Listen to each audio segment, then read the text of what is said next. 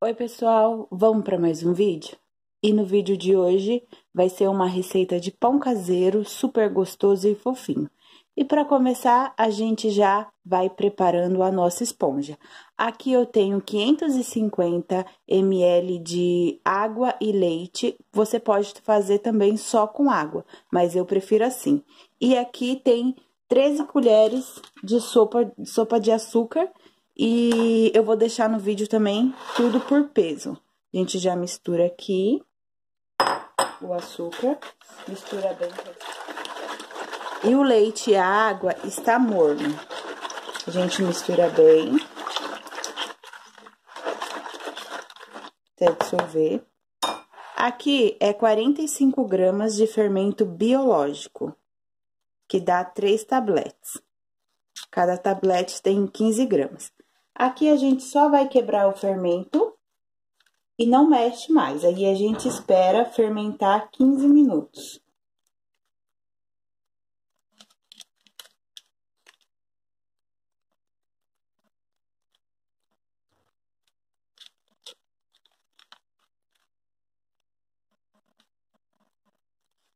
Prontinho, nossa esponja está pronta e agora a gente deixa fermentar os 15 minutinhos. Depois que você coloca o fermento, não mexe.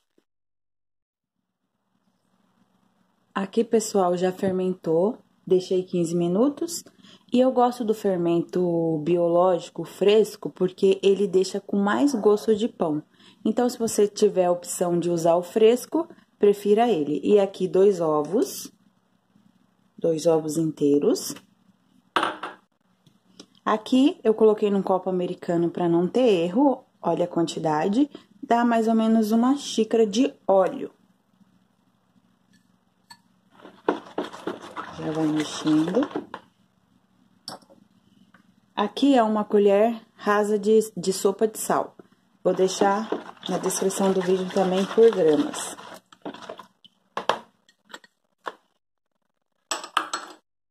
Aqui é totalmente opcional, é 4 colheres de sopa de leite em pó.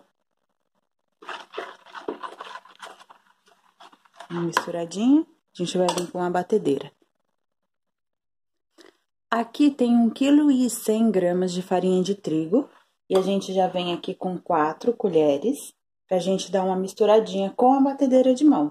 Se você quiser fazer aqui tudo na mão, também dá, mas a batedeira é mais rápido. E a gente mistura bem. Aqui eu tô usando a marca Anaconda, depende muito da marca de farinha de trigo que você vai usar, porque às vezes é uma puxa mais ou menos umidade. Aqui é 1 kg 100. Já misturei bem aqui, e aqui a gente vai colocar metade agora dessa farinha de trigo, mas não de uma vez. A gente coloca um pouco, mistura, bate bem. Ao contrário do bolo, o pão você pode bater bem a farinha de trigo, porque se gerar o glúten no pão é ótimo, no bolo não. Então, quanto mais você bater essa farinha de trigo, melhor é. Ó, coloco um pouco assim, venho e misturo.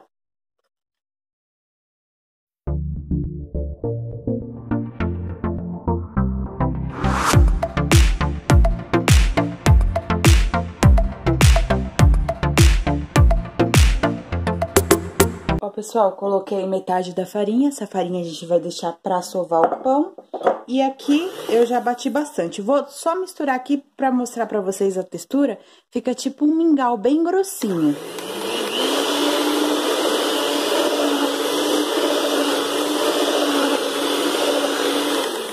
É essa textura. Eu já bati aqui bem. Aí, quando vocês forem fazer, bate bem, que é muito importante. Agora aqui a gente deixa descansar até dobrar de volume. E hoje tá bem friozinho. E aí, para crescer o pão mais rápido, eu vou fazer assim: eu vou ligar meu forno no mais baixinho que tiver a temperatura, vou deixar ele estabilizar, vou colocar minha mão lá dentro e deixar minha mão parada um pouquinho lá dentro. Se ele não me queimar é, a temperatura, aí eu fiz uma estufinha, eu vou deixar meu pão crescer lá dentro. Aí é essa dica que eu dou quando tiver friozinho. Se tiver calor, nem precisa, ele vai crescer rapidinho. Olha como ficou, pessoal. Deixei uma hora e meia descansar. Aí Aqui a farinha de trigo que a gente deixou já pra sovar. Eu vou jogando aqui aos poucos, é porque eu gosto de deixar ele um pouquinho mais firme para depois eu colocar a mão. Mas olha como ficou.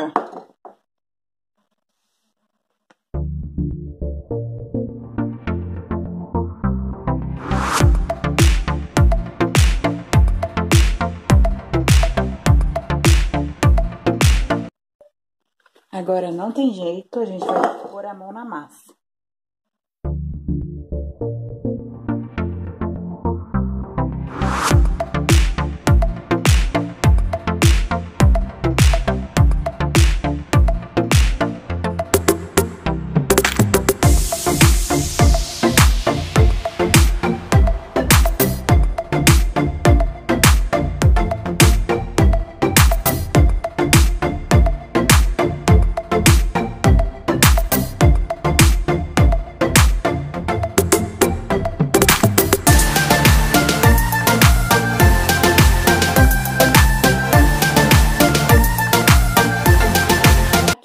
Eu só vou jogando farinha de trigo só para eu conseguir sovar.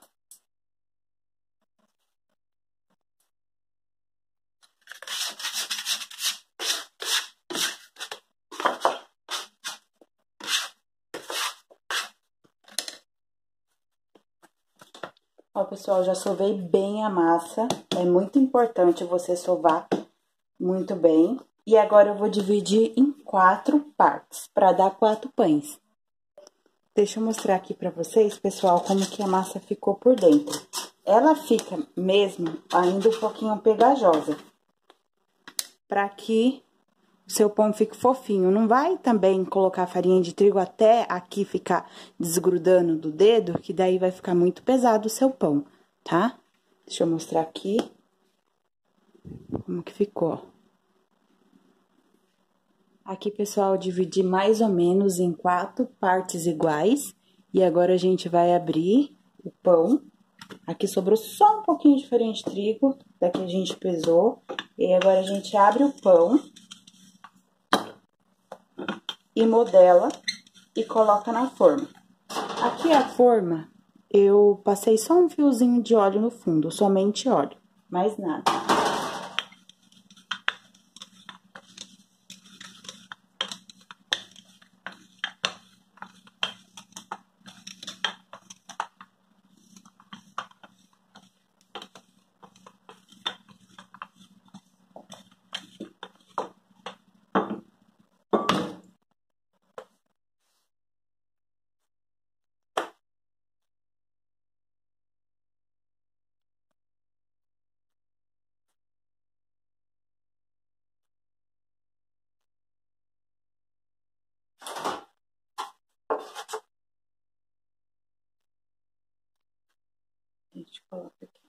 Pessoal, esse último aqui, ah, eu vou abrir e para não perder umas bananas que eu tinha aqui, eu peguei, coloquei no fogo só as bananas mesmo e deixei apurar esse doce. Aí eu vou abrir e vou colocar esse doce no meio do pão.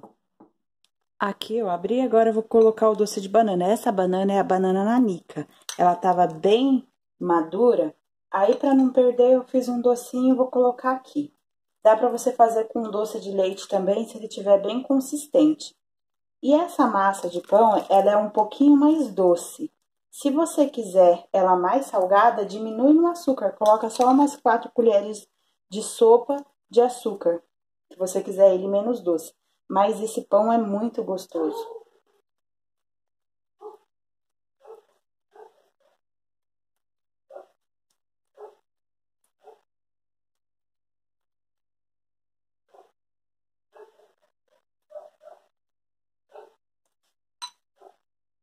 Se você for colocar o doce de leite, não deixa muito não, senão pode vazar na hora que for assar. Aí a gente faz assim.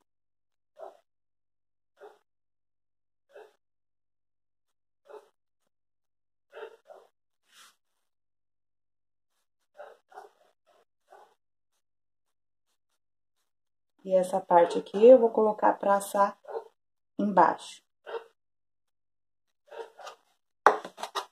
Agora eu vou deixar ele descansar mais uma vez, mais ou menos uma hora e meia também. Ó, pessoal, deixei o pão crescer por uma hora e 40 minutos dentro do meu forno. Olha como ele ficou, cresceu bem. E agora eu vou levar ele ao forno e aí quando eu levo, eu ligo ele a 180 graus. Eu não vou passar gemas aqui, porque como ele é doce, a função do açúcar é, é dourar mais. Então, não precisa. E meu forno também tem resistência em cima e embaixo. Então, fica aí, se vocês quiserem colocar, é opcional. Ó, pessoal, que maravilha de pão. Aí, agora eu vou cortar. Vou partir para mostrar para vocês. Aqui, pessoal, ainda tá quentinho. Foi até um pouquinho difícil de tirar da forma, porque ele ainda tá quente. E olha como que fica por dentro. Fica muito fofinho. Deixa eu cortar mais um pedacinho. E se você gostou dessa receita, já deixa o seu joinha aí para eu estar tá trazendo mais receitas assim. Se você não é inscrito aqui no canal, se inscreva e ative o sininho para ficar por dentro de todas as notificações. Olha como que ficou. Vamos passar uma manteiguinha aqui. Aqui, pessoal, com um cafezinho, hein? Ia ficar muito gostoso. E agora eu vou mostrar como ficou o de banana. Aqui, pessoal, de banana. Olha como que fica por dentro, fica muito gostoso. Aqui, ainda tá quentinho.